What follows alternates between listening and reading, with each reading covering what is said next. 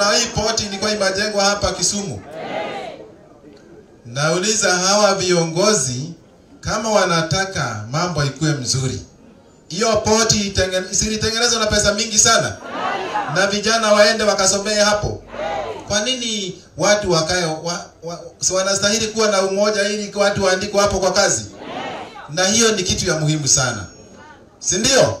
Angalia maji inaua watu hapa area hii yote, na pesa zilitolewa. Pesa zili zilienda wapi? Hizo pesa zitolewe, zikuja zifanye ka kazi, si ndio? Na tunasema kama vile Mheshimiwa Kalonzo amesema, kama vile Mheshimiwa Gavana amesema, na viongozi wote ambao wako hapa, tuungane pamoja kama vile tuliungana wakati wa maandama na ninauliza baba, sijui ya baba anangojea nini, sijui anangojea nini. Kama ni maandamano ingine, sisi tuko ngangari Nairobi,